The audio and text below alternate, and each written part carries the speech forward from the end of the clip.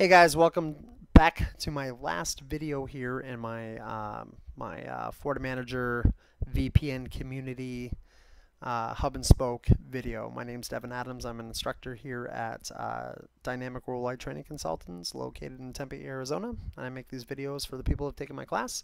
And in the last two videos, we got our hub and spoke topology up and running. All right, we wrote the firewall policies to allow traffic from the hub out to the spokes and to the spokes to the hub, but not spoke to spoke. And let's just say for a moment that we have the goal to make that happen. All right, there's just an additional firewall rule that you have to do to allow that to happen. All right, and it actually happens on the hub. So let's go ahead and do that and go forward and wrap this up. So, anyways, so uh, to, to get our branch offices to be able to talk directly to each other, okay, we're going to have to write a firewall policy on our local FortiGate to allow that to happen. All right, so let's go to our PC1 and here is our device manager.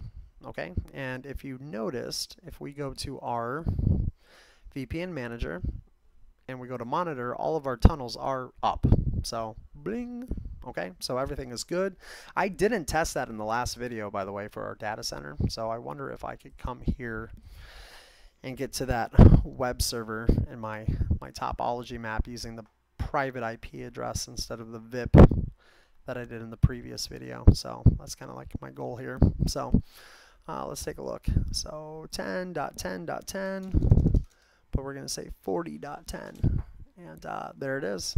So our VPN tunnel is pushing down and uh, being able to access resources from the data center using IPsec. So, phew, good times. All right.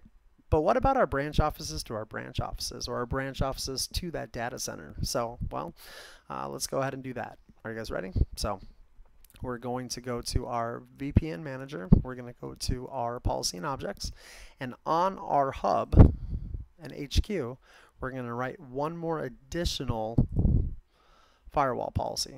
And this policy is going to say uh, spoke to spoke. All right and our incoming is going to be anything coming in from our hub and spoke. And you guessed it, our hub and spoke. So, oh, I wonder why that one didn't grab. Here we go, hub and spoke. Okay, these are VPN zones. So all the IPsec logical tunnels have been dropped into those zones, and the VPN manager did all that for us. So, and this is where it gets clever. So we're going to say for our source address, we're going to use that summation address going to our summation address, okay? And depending on what access you want, where you can be more granular with this, depending on like specific subnets. So if we want to protect one subnet from the other, I mean, you could. I'm just doing this for simplicity reasons, all right? But I'm going to say accept. And now that should be enough to get the branch offices at least talking to each other. So um, should we try it? I think we should. So let's do this. So uh, for starters, we got to push that down. All right, so there we go. I'm going to right click and say reinstall policy. Hopefully it doesn't error out. Nah, it won't. Maybe it will. I don't know. Just talking to myself. There we go. No errors. Kind of a nice little provisionary buffer there. So now it's pushing it down to the real FortiGates itself. And now that that firewall rule is there, in theory, we should be able to have the branch offices talk to each other. So, all right, here we go.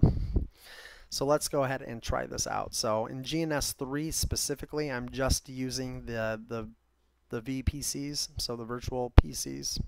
That's just pretty much a command prompt, and I'm able to ping. So, but before we didn't have access to that subnet and now we do. So this is on the 10.10.2 or 20 network, and now I can talk to branch to branch. All right. So, and same with here.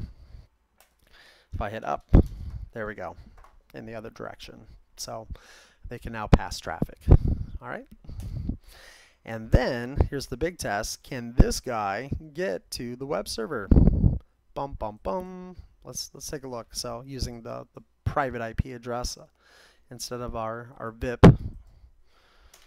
So we'll go to 10.10.4. 10, and there it is. So guys, it's working. Uh, and that is it. So we just did one more additional firewall rule to let the branches talk to each other. And in real life, if you wanted more granularity and more, you know, restrictions, you can. Um, I was just showing you though that it's all done through the the, uh, the VPN manager. So, and once again, if you add that metadata in there, I mean, come on, just show off, right? I mean, I'd want to show off just go over to your map view and you can actually see the traffic and the up tunnels. I mean, that's that's pretty darn cool, guys. I don't care what you say. See, and traffic's passing between them. It even shows you what direction has the most bandwidth utilization. I mean, that's just crazy. So, um, crazy cool. I mean, so, so hopefully someone out there found that helpful. Um, before my, I have I have 10 more days until the expiration of these things. So I'm just going to see how much I can push out of this NSE 5. So I hope you guys don't mind. Uh, but in my next video, now that we have IPsec tunnels that are protecting everything, why don't we get this FortiAnalyzer to start doing something? So we're going to start collecting logs through the FortiAnalyzer using those IPsec tunnels and really start taking advantage of our our reporting tools and things like that. So, but uh, hopefully someone out there found that helpful. If not, I'm sorry for wasting your time. And I'll see you guys next time to do a little Forti analyzing. So, all right, take care.